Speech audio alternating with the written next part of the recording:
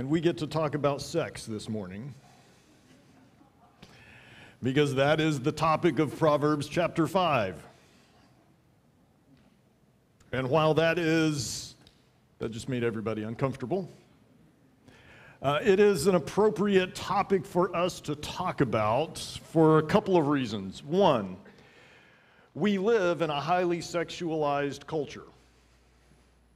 We live in a culture that has placed sex at a high value and high premium and spread it across the culture in all kinds of ways and in places where it's not meant to be, but it's basically everywhere.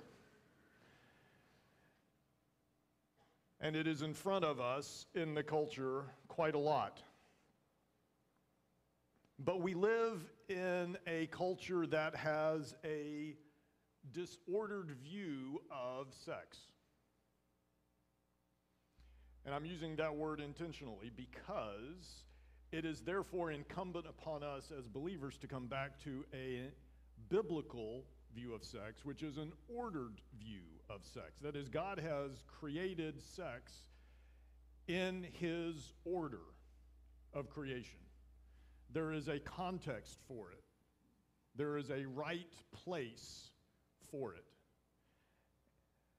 But our culture has disordered that, it has disconnected it from truth, from Scripture, from God, and has elevated it to something that it was not ever meant to be and placed it in an arena in which it cannot fulfill what it promises. If we go back to Genesis 1 and 2, we find there that God has created, and what God created was good. That is, God created man and woman. He created the man first, and the man was alone.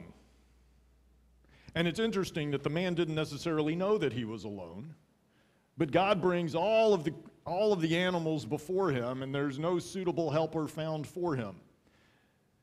And it's, it's interesting. The man, it's not told us whether Adam recognizes this loneliness. It's just, we're told that this is the case. But God has something better for him, God has something different for him. And so he creates woman, and he brings the woman to the man and the two become one flesh. And what God has joined together, let no one separate. And God tells them that they are to be fruitful and multiply. And so, in this context of creation that is good, God has created man and woman in this monogamous covenant relationship where the two join together and are not to be separated. And this is where sex and procreation are given in that context. And so all of those elements are necessary for ordered sexuality. One man, one woman in a covenant relationship, monogamous covenant relationship for life, where the two become one flesh for the purpose of creating family.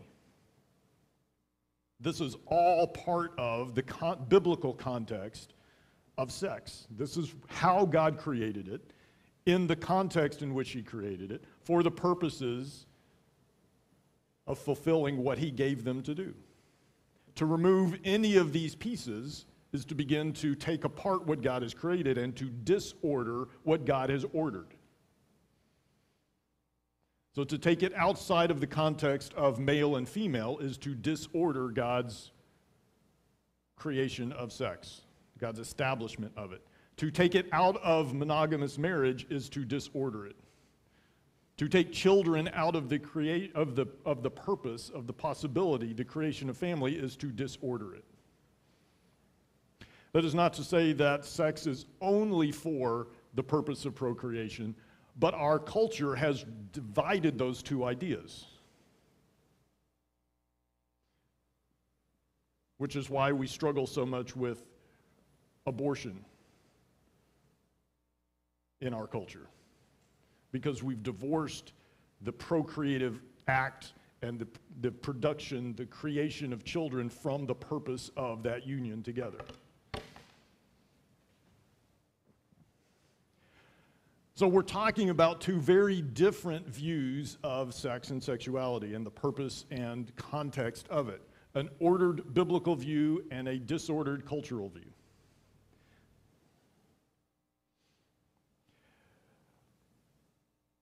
Jesus then goes on to affirm the biblical created ordered view of sex in Matthew 19 when he talks about God has created them male and female. What God has joined together, let no man separate.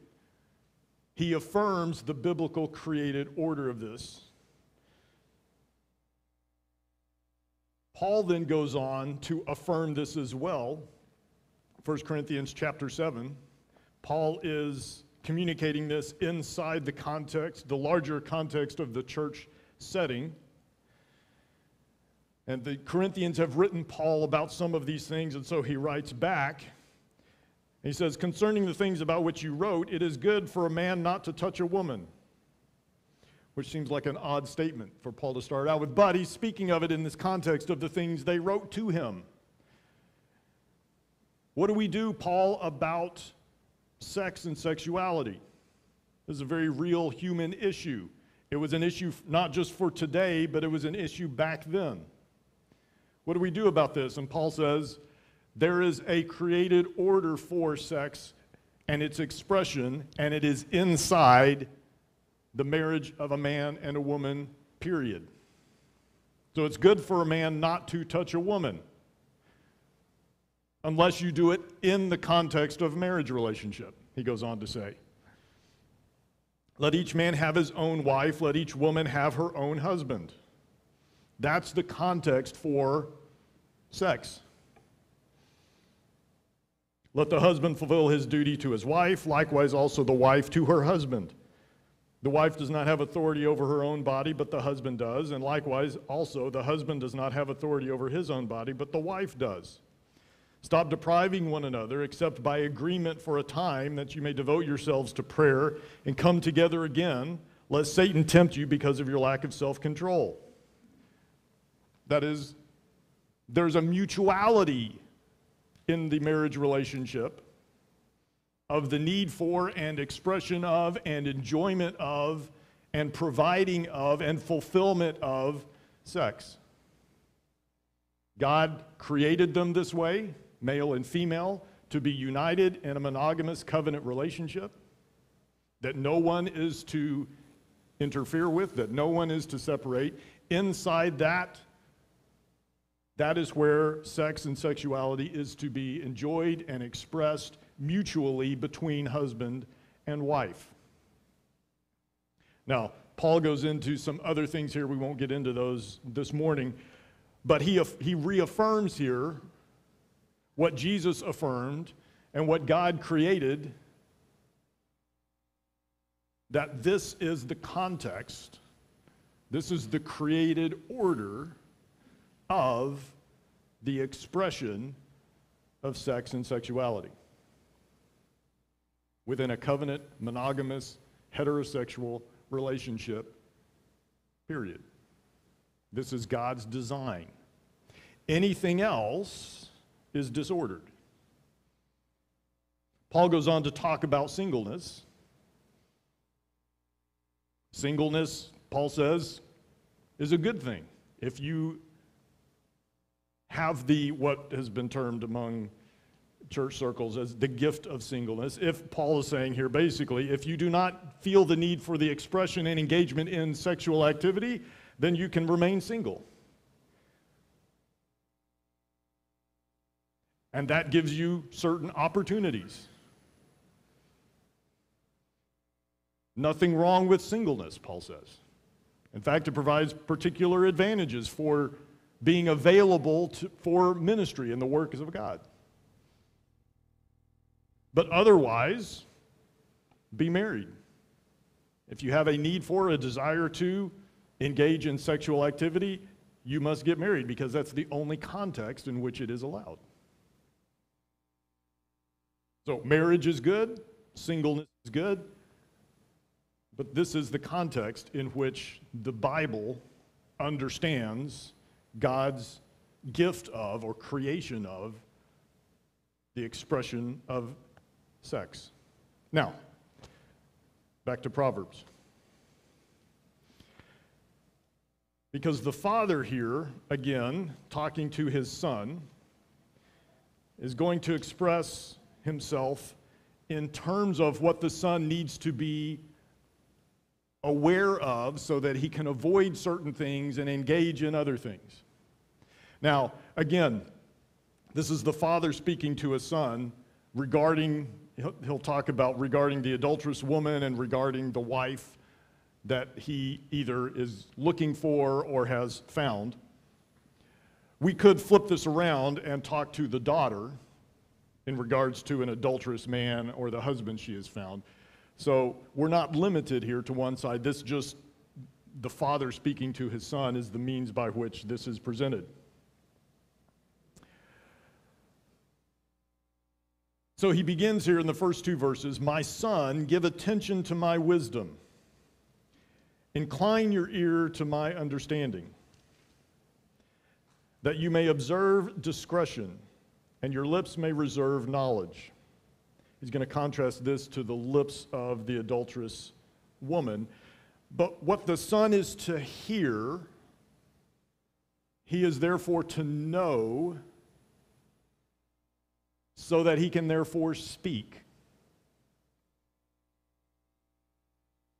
He is to hear, is to pay attention to what the Father is saying so that he can internalize it, so that he knows it, so that he can then speak it, so that he can externalize it in his actions and speech and behavior over and against what the adulterous woman is going to say. So, in a larger setting, in a larger context or thinking for us, the culture is going to speak and act. We need, as believers, we need to be able to speak and act in response or in defense or in opposition to at times. What do we say? What do we do? It should be based on Scripture. We are to listen to the words of the Bible. We're to listen to the words of God so that we can know them, so that we can then speak them, especially in the face of what the culture is going to say, what the adulterous woman is going to say. For she is going to speak here, verse 3 The lips of an adulteress drip honey and smoother than oil is her speech. So I've, i like to think about this in terms of what disordered sex promises. It promises honey. It presents itself enticingly. It looks good. It sounds good. It tastes good. It feels good. It presents itself in a beautiful package. It is tempting. The father is warning his son. The scriptures are warning us the temptation is coming.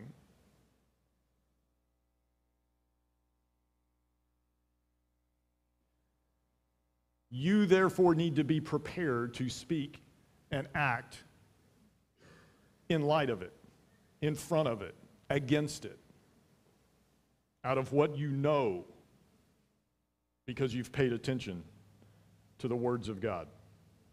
But this is what it promises.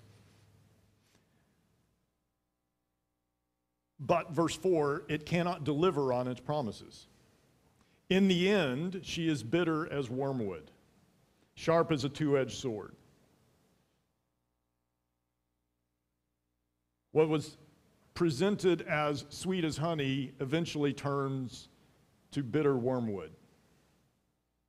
What was smooth and felt good to the touch is now the sharp edge of a two edged sword that cuts and does damage. So we have what disordered sex promises versus what it delivers. It cannot deliver what it promises. Why is that? Because her path is disordered. It is at odds with the created order, and it therefore leads to destruction. Verse 5 Her feet go down to death, her steps lay hold of Sheol. She does not ponder the path of life, her ways are unstable, and she does not know it. Those who abandon God's way, those who abandon his path, those who abandon truth, wander aimlessly because they have no reference point. They are lost, wandering through the world in a moral and spiritual and physical and emotional wilderness, unable to distinguish between right and wrong, and unable to find fulfillment and rest and peace. It's like the Israelites wandering the wilderness if God had not gone with them. Wandering the wilderness looking for food, looking for water, looking for fulfillment, looking for rest and peace, and there is none to be offered there. And they're lost. And this is what the world is doing. This is what those who have disengaged from truth of God are wandering the world without a reference point. and they don't even know it. But they cannot find fulfillment, they cannot find purpose, they cannot find rest or peace. They're looking for it. They're looking for the same things we all are, but they cannot find them. And so they grab onto one thing and try that for a while, and ultimately it proves hollow. They try something else, and it eventually proves empty. They try sex outside of marriage, outside of God's ordered idea, and it doesn't work either.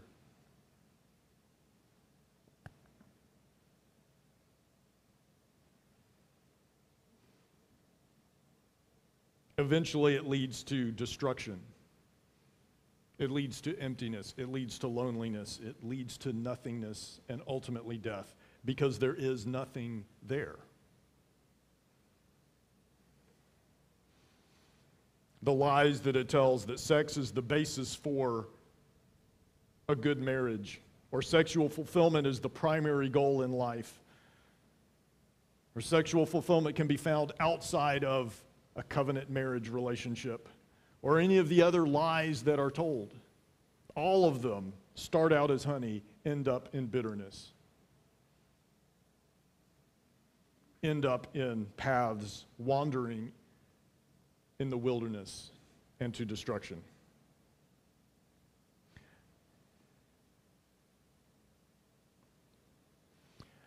So the father warns his son. The scriptures warn us as people of the word. And he continues in verse 7 Now then, my sons, listen to me and do not depart from the words of my mouth. Keep your way far from her. Do not go near the door of her house. That's pretty straightforward and it's pretty good advice. Hear my words and keep them. Temptation is coming. When I was working as a teacher and coach, I had opportunity oftentimes to speak to young people, especially groups of young men. And I would make, try to at least, make this point to them. Temptation is coming. Make up your mind before you get there what you're going to do. And in the case of talking to these young men about dating and sex and so forth. I would stress that point to them. The time to make up your mind about what you're going to do is not when you're sitting alone with this pretty young girl, alone in the dark on the couch, or in the back seat of a car, or wherever. That is not the point in time to start thinking about, I wonder how far we should go. I wonder what I should do. I wonder if. That's not the time to make that decision, is it? Because your brain has left the building. And your hormones have taken the driver's seat.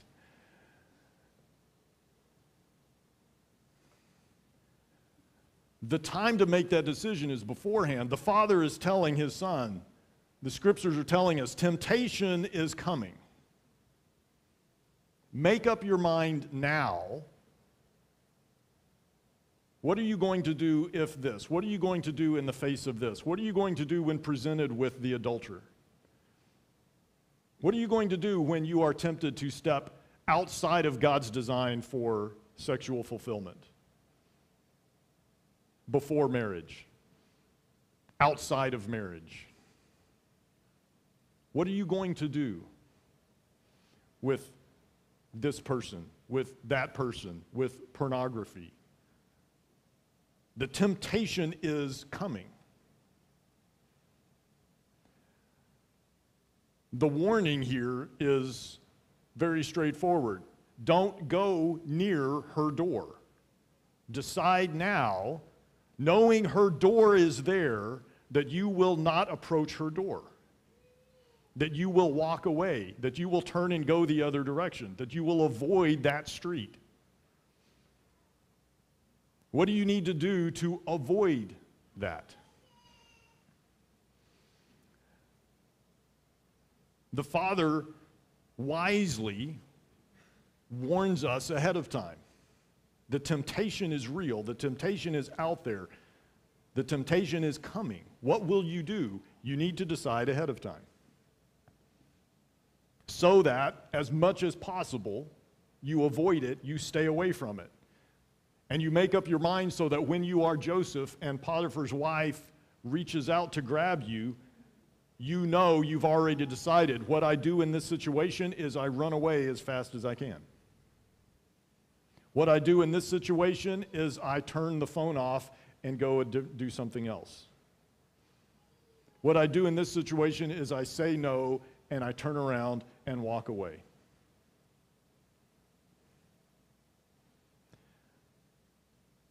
The temptation is real, the temptation is coming. Decide now to avoid it.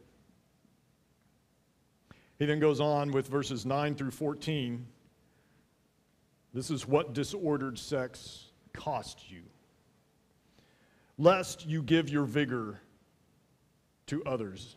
That is, if you go into her door, you will end up giving your vigor to others and your years to the cruel one, lest strangers be filled with your strength and your hard earned goods go to the house of an alien. And you groan at your latter end when your flesh and your body are consumed, and you say, how I have hated instruction and my heart spurned reproof. I've not listened to the voice of my teachers, nor inclined my ears to my instructors. I was almost in utter ruin in the midst of the assembly and the congregation. It will cost you everything. Giving your honor, your dignity, your strength, your money, your standing in the community, broken marriages, broken families, all of these are in the wake of adultery. And this is the context in which he's talking about this to his son. What will adultery cost you? It will cost you everything. Eventually, all of it comes crashing down. Eventually, what was done in secret becomes known and it destroys lives and it destroys children and it destroys spouses and it destroys families and it leaves destruction in its wake. He talks about interestingly here your honor, your dignity, your standing in the community, all that becomes known. And he's talking here in the context of the Israelite nation, where this would be handled in the midst of the community by the community when this was found out. There were penalties for adultery. There were death penalties for adultery in, cer- in certain circumstances. certainly there is going to be destruction of families and marriages. Certainly, your standing in the community will be affected by this. In some accounts and in some situations, the man who committed adultery could become a slave to the husband of the woman he committed adultery with. But regardless of the specifics, there's going to be destruction.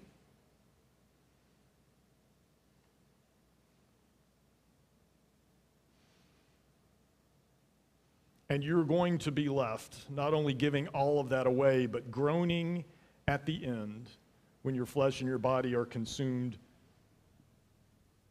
by sin. Looking back, saying, if only, if only I had listened. If only I had listened and paid attention. Groaning in guilt and shame, loneliness, humiliation, and depression. If only I had listened.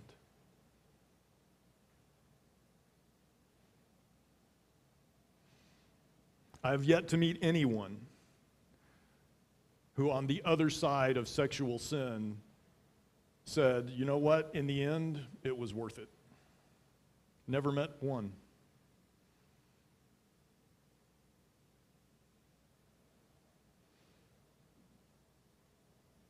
The destruction is real. This is what it costs. Then we get to verses 15 to 19.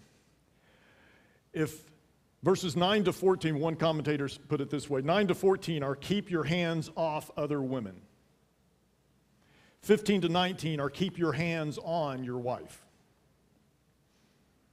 So 9 to 14 is disordered sex. Keep your hands off, keep your eyes away from, avoid disordered sex.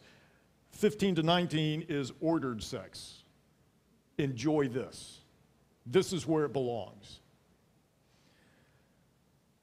He uses two metaphors here. One is water, and the other are animals. But he says, Drink water from your own cistern, and fresh water from your own well. Should your springs be dispersed abroad, streams of water in the streets? Let them be yours alone and not for strangers with you. Let your fountain be blessed, and rejoice in the wife of your youth. He uses here this idea of water, and this is again in Israel where water was a scarce commodity, and springs of water were something to rejoice over. So drink your own water, not the foreign waters, not someone else's waters. Drink your own. Should your springs then be dispersed to others? No, they are yours to enjoy. Let them be yours alone and not for strangers. Let your fountains be a blessing or be blessed. In 19, he shifts to an animal metaphor. As a loving hind and a graceful doe, let her breast satisfy you at all times. Be exhilarated always with her love. This is a common metaphor in the ancient Near East. We see it in the Song of Songs.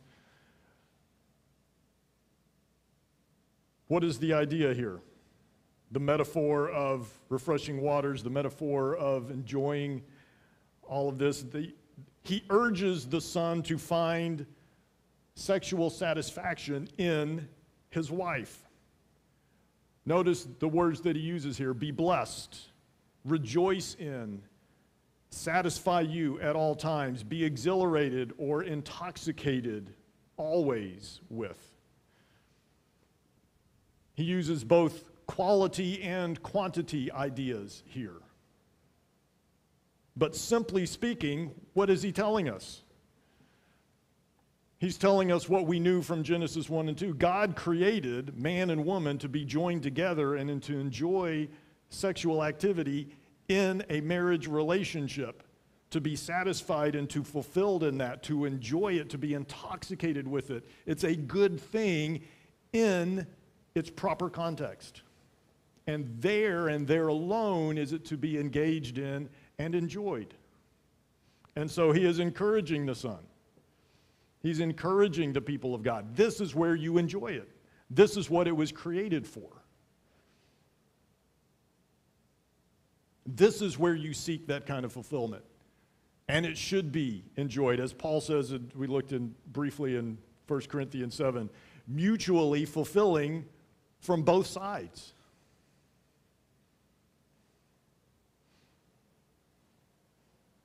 Now, again, he's talking here from the big picture. We're not dealing with all of the issues and complications and so forth, but this is the ideal.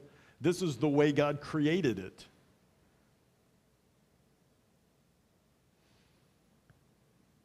And so he is comparing and contrasting here. Avoid the adultery, avoid any sex outside of the created context of marriage. Inside the context of marriage, be satisfied, enjoy it, find your fulfillment there, be intoxicated with it. This is where God created it to be enjoyed. And then, as he draws this to a conclusion, he reminds again, verse 20 Why should you, my son, be exhilarated with an adulteress and embrace the bosom of a foreigner?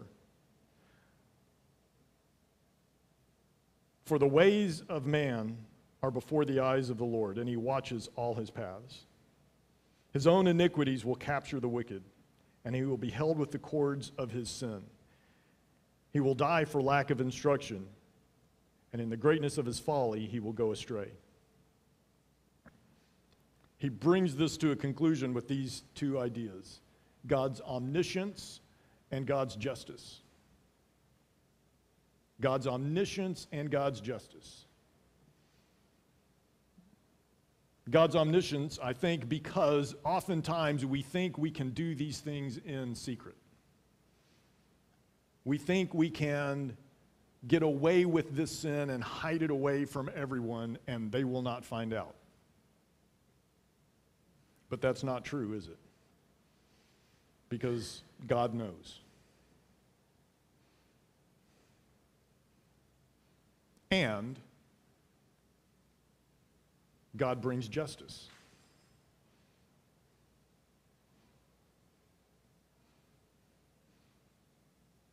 God brings discipline.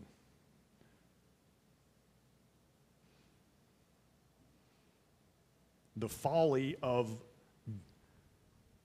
ignoring the instructions of God is evident.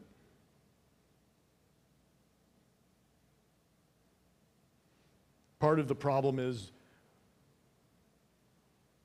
we take one step away and it leads us to a second step and it leads us to a third. And pretty soon we're so far down the path we're lost. The father wants to instruct his son, get his son's attention. He wants to get our attention with don't dip your toe in the forbidden stream. Don't step one foot down the wrong path. Don't start toward her door.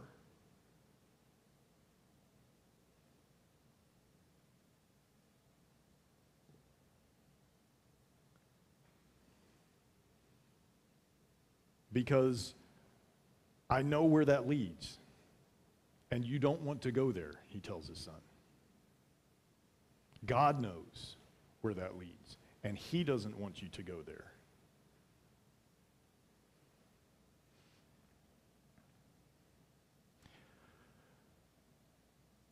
So, what are we to do in response? What are we to do with a chapter like this? Some of us are married, some of us are not married.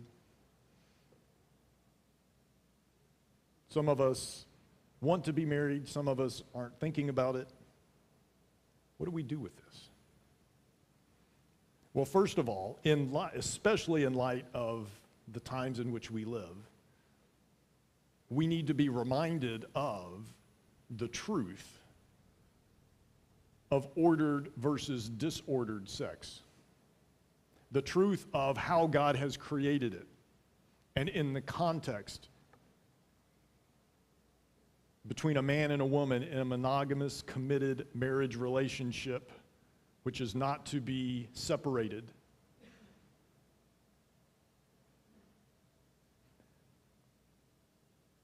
With the reality of procreation, in that context, God has created sex, and in that context, it is good.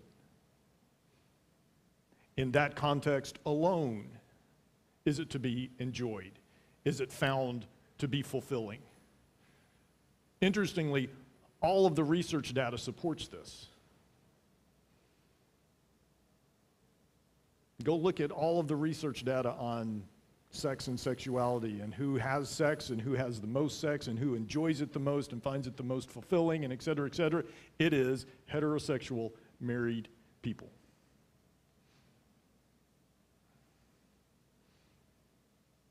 Outside of that context is disordered sex. Now, why do we need to be made aware of that? Because our culture is inundating us with the idea that disordered sex is good. We need to know the truth. We need to remind ourselves of the truth. We need to be able to remind one another of the truth.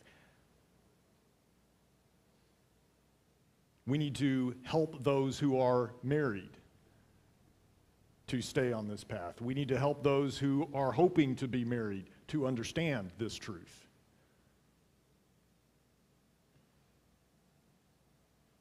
We need to help those outside to be able to understand this truth that there is no sexual fulfillment outside of God's design.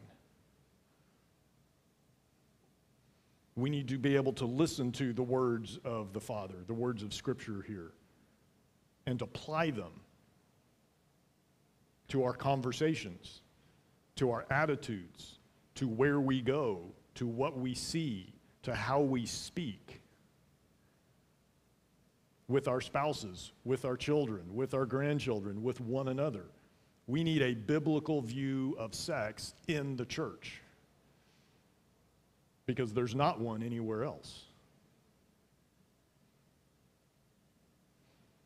And a disordered, unbiblical view of sex leads destruction in its wake. For the believer and the unbeliever it leads to destruction in life. There is no way around that.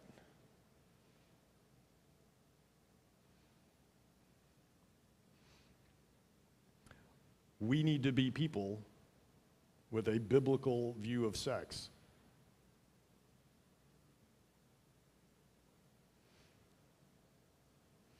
Let me pray for us.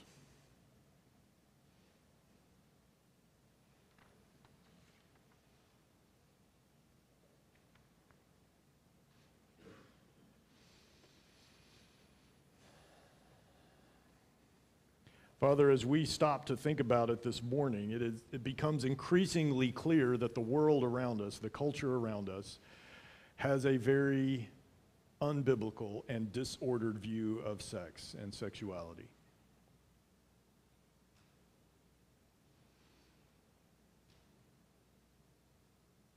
We live in a world that prioritizes all the wrong things about it.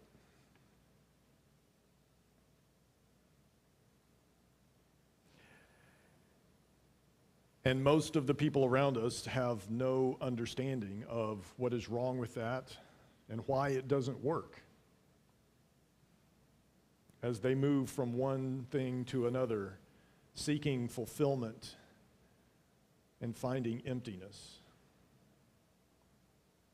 And too often, we in the church, we as believers, can begin to allow those ideas and those concepts to seep into our thinking and what's wrong with this? Or why not that? And our urges and our desires can be led astray.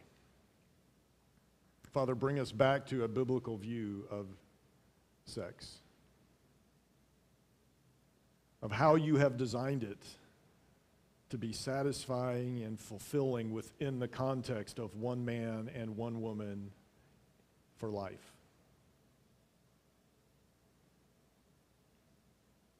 of the purpose of bringing satisfaction and bringing children and creating families and providing that mutual fulfillment together.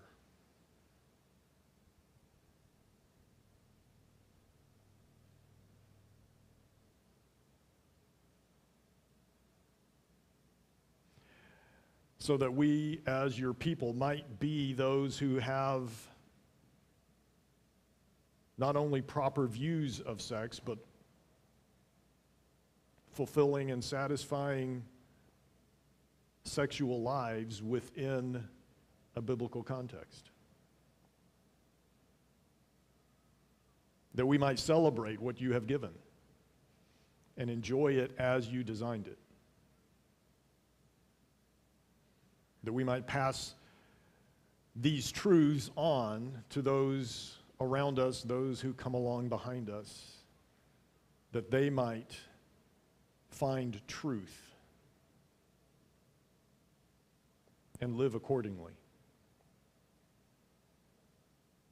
That we might be examples to those both inside and outside the church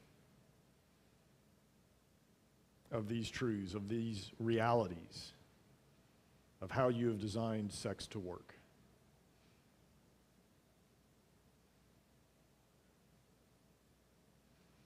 And we pray this in Jesus' name. Amen.